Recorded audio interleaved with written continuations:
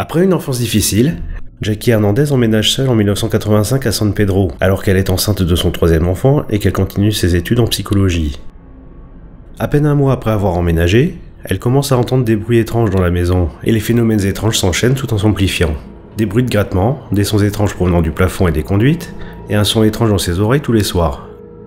Les choses ne s'arrangent pas avec le temps, et des voisins et des amis de la jeune femme sont également témoins de certains phénomènes étranges. Un soir, alors que Jackie prépare à manger avec une amie, des boules lumineuses en déplacement apparurent près du plafond. Jackie tente de les photographier, mais en voulant faire une seconde prise, l'appareil s'enraye, et Jackie confie l'appareil à son amie pour qu'elle essaye. Mais, lorsqu'elle regarde dans le viseur, c'est là qu'elle voit le visage d'un homme décharné, dans un état de décomposition avancé.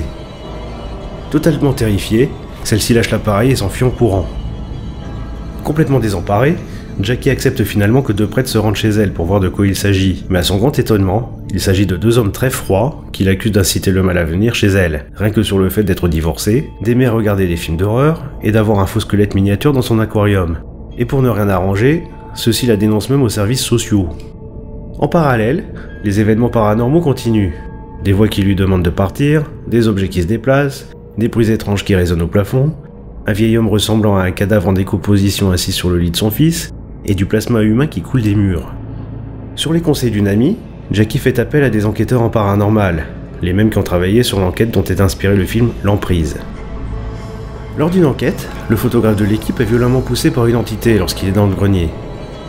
Jackie finit par déménager, mais l'entité la suit et continue ses attaques sur elle et sa famille. Par la suite, le poltergeist s'en prend également à l'équipe d'enquêteurs, en déplaçant des objets chez eux, et se montre aussi responsable d'un début d'incendie.